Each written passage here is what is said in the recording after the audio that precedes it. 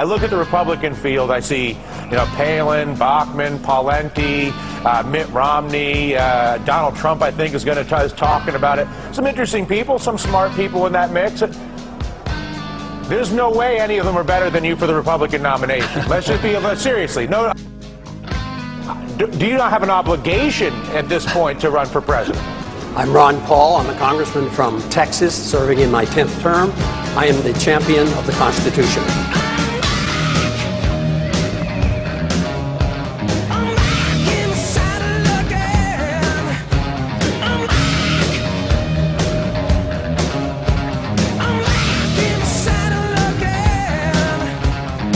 It's becoming more and more clear that we live in the age of Ron Paul, Judge.